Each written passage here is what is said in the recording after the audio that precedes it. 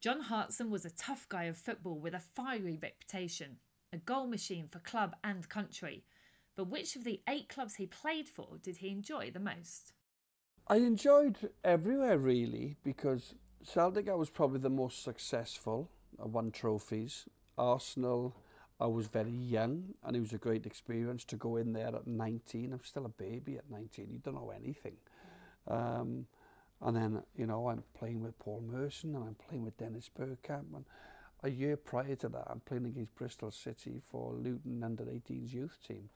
So, um, you know, the speed of my development really and, and, and the, the, the place that I was at. I was in Arsenal's first team playing Champions League football, um, which was just amazing at the time. I probably can't remember most of it because it's so far long ago.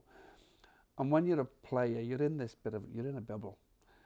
You know, you're in a bit of a bubble. It's all happening really, really fast. Um, but it's nice to look back. It's nice to reminisce. They were great times. But yes, at West Ham, I enjoyed. I enjoyed at Wimbledon. Luton was where it all started. So I would, I'd be doing an injustice to the other clubs that I played for if I actually everybody knows my love for Celtic and the success I had there and the relationship I had with Martin O'Neill. So if I had to say one, probably Celtic is, you know, the best club um, that I enjoyed the most, particularly because of the success I had there. At the end of your career at Celtic, you were managed by Gordon Strachan, and it took him a few days to pluck up the courage to call you to tell you that you were being transferred to West I know, Brom. I know. Well, it was it was pretty common knowledge that um, we'd won the league we'd won the league, and uh, and I think that the club wanted to move on several players. They'd already moved on Alan Thompson, they'd moved on Chris Sutton. And I think the club um, were quite prepared to move me on. And uh, and I went on holiday and um, I was on holiday in the summer thinking I'd go back to Celtic. had one more year left on my contract. And I received a phone call. I was like by the swimming pool and um, my wife and a couple of kids and that were there. And uh, I remember got uh, my phone going, and I was I, I went on to Gordon track, and he said, "Oh, John, really sorry, son," he said, "but I've agreed a deal to sell you to West Brom." He said, "You've been great for me last season. We won the title in his first season." He said, "But I just feel I want to go down a different." Um, you know, a different style, different way of playing. And he said, I've agreed with Brian Robson at West Brom to let you go. He said the fee is £500,000. And um, I really wish you all the best. He says, you know, let's stay. And, and I keep in touch with Gordon now. Everything's fine. No issue with that. And then I went to West Brom with Brian Robson, who again was somebody that I had the utmost respect for. A great player, a, a great man, and um, a lot, a lot of time for Brian.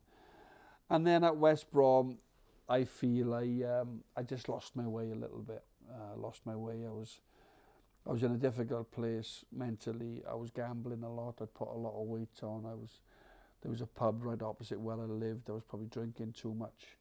Um, and then it just all seemed to hit me at once where I was thinking, well, I'm, I'd gone through a divorce. I, was, I wasn't seeing too much of my kids, which was heartbreaking. Um, I was driving from Birmingham back down to Swansea every couple of weeks to see them um, that played its toll heavily um, on on my physicality and um, difficult to leave Swansea at six in the morning, drive straight to the training ground and then train.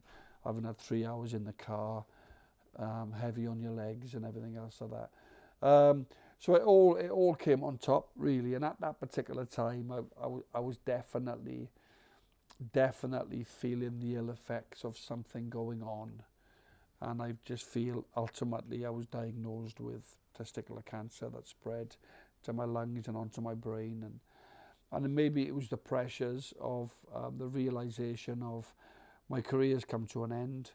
I'm in a lot of debt I'm out of control. I'm gambling. I'm drinking. I'm heavy. I'm skipping training. Um, and it just all it just all became too much. And um, and ultimately then I was I was um, I got in the team and I got out of the team and manager situation changed. I was sent out on loan to Norwich for a month. Ultimately, I feel all that pressure, all that um, stress I was bringing on myself and I'd brought on myself over a number of years um, took its toll. and then I just hit a wall. Coming through that period has has certainly been, you know, a, a, a big wake up call, and uh, a chance for me to have put things right, and to now live the life that I'm living. Let's talk about your international career because you made your debut for Wales in 1993, 51 appearances for your country. How Mm. much did that mean to you to represent Wales? Huge, and I wanted to get to 50. I think to have got to 50 caps, not many do it. You get a golden cap when you get to 50, and um, I probably had a few more caps in me, to be honest. Again, I had issues with the managers, one or two managers there, Bobby Gould in particular. uh, God bless him. I, I, I like Bobby now. We get on really well um, whenever we see each other.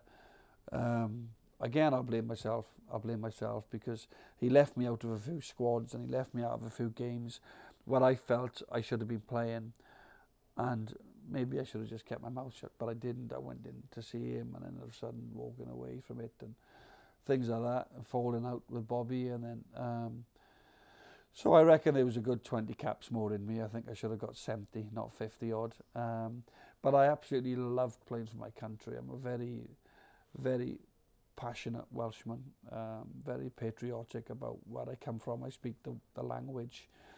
I give my heart and soul for my country. Whenever I wore that um, that red shirt with number nine on the back, I was uh, I had heroes before me. You know, Dean Saunders, Rush, Hughes, Trevor Ford, John Charles, these guys, um, and to have for me to have led the line, you know, as a centre forward for the amount of time that I did, it gives me enormous pride to think that I did that for my country and uh, my children, obviously Welsh speaking, um, my eldest too, and um, I love I love Wales, I love Swansea. Um, I moved up to Edinburgh, but I went back to Wales to get all my treatment and everything else in, in the hospitals. But playing for Wales was definitely the, the highlight of my career. I watched you as a teenager from the North Bank. You were a real hard guy of football. You had this reputation. Obviously, you, you've said that you had a bit of a fiery personality at that time, but hard on the pitch as well, very physical player. But that's not the man that I know now, that Mm. I've, I've sort of got to know since, professionally and, and personally. Well, I don't think it was the man even back then. It was like when what it was was that I was very competitive and I wanted to win. And if that, you know, when I trained even, I, loved that physicality. Um, I loved that body contact, you know, backing in. I loved gritting my teeth. Do you know what I mean? And I, I, I liked if a centre half came and smashed me in the first minute, I thought that was great because I've got to get him back now. You know, I, I hated it when centre halves tried to befriend you and how's it going, you know, how's the kids and all, how, how are you getting on? I hated that because I didn't want to be his friend. Do you know what I mean? I, I just loved that physical physicality. Um, I loved the body contact and, um, you know, me and Martin Keown used to go hammer and tongs in training. We used to just, because Martin would always say, John, if you can get the better of me today, And Martin was 10 years older than me, a lot of experience, played for England, Everton, Villa, Arsenal, great player, really tough, strong centre half. And we roomed together and we would go out to the training ground and he'd say, right, we'll do it for real today. Me and you as if it's proper. And I'm thinking, well, if I can get the better of Martin Keown, I can get the better of anybody because there weren't many better than Martin, if any. He was a top, top player. Um, that's how we used to do it. But I, I'd like to think I've always been a people's person. I've always had time for people. Um, you know, and sometimes you get this little bit of reputation. And when I go around now, when I do after dinner talks and hospitality lunches and, and corporate dinners, and people meet me, and uh, you, you, you just got this persona. I think we're all very judgmental of people, aren't we? But then are Um, people surprised when they meet you? they are very much so. They say, well, you know, you're quite softly spoken and you're, you're a decent guy. And, and I'm like, well, what, what did you expect? But maybe I give that image out. Um, and it's like a lot of people when they write a book, you know, they write a book and a, a lot of what's in the book is exaggerated tenfold. Um, especially when, like my, my, my cancer story, it's all there. Um, you know, that is plain and simple. I told it exactly how it is.